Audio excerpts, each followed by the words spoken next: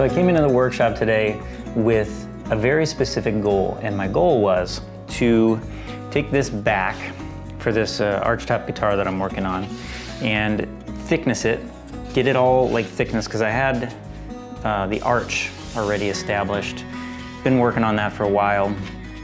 Rough thickness the inside, and the last step here really is for me to just take my, my calipers and stuff and just get this down to the final thickness and you know like get everything moving and flexing the way it should so that I can glue this to the back or glue the back to the sides of the guitar. And um, as I picked it up to do it and get things set up for the day, some little voice inside me um, just gave me this little prompting, this little subtle nudge and basically just said, hey, you know what? That arching on that back can be refined just a little bit more. So go for it, you know? And so I did. I stopped what I was planning to do and I spent that extra time going over this. And, and I still have a tiny bit more to do, maybe, but I'm pretty close now.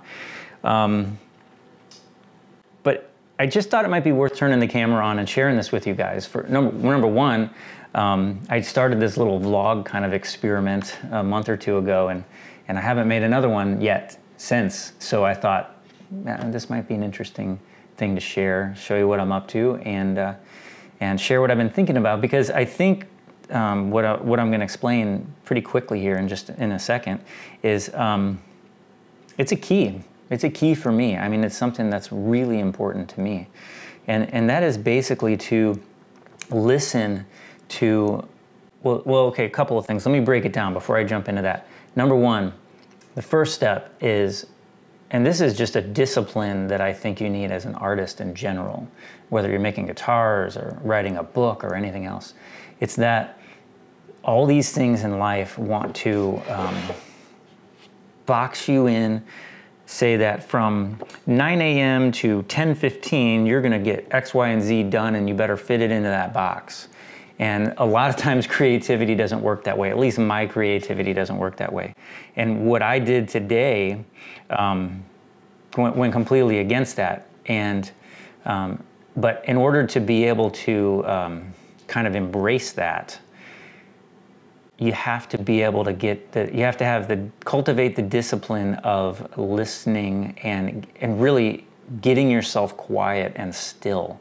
I think that's one of the key things about guitar making for me is i work the battle isn't to um, flawlessly execute the design. I mean that's important and that's a challenge because there's so many things as you guys know. You guys in the luthier's edge my students who are building your guitars and you guys in the art of lutherie um, who are probably making your guitars or considering making guitars. Um, there's a lot of variables. It's challenging. It's so rewarding and it's so fun. But um, just the flawless execution alone is not the hardest thing, I don't think. I think the hardest thing and the most, maybe the most rewarding thing because it applies to all the areas of your life is to develop the discipline and the skill of, of pushing off all the noise of your life that everything everybody's trying to put in and pull your attention and and make it so noisy in there from the social media and all that other stuff, you know, and to, to quiet all that down to the point where when your schedule is full and your day is booked and busy and the timeline is tight, um, that you're still able to, to hear that tiny little leading that says, you know what? you could take a little extra time and, take this from good to great or from great to inspiring and amazing. And then to and then step two is to force yourself to take that time and actually do it. And um, I think that's really important. And I think it's it's um, it's sometimes it's it's the um, adding up of all those little moments for me anyway. I feel like when I'm building a guitar, there's all these little moments where I indulge my creativity in that time that is totally like there's no way I should take I shouldn't take that much time extra to do it. But when I when I do, it becomes this sort of like spark of creativity, this seed um, this beautiful theme, those little bitty bits of refinement that happen on all these different parts. Maybe it's the neck needs an extra day of just fussing with little details and just getting that place of peace.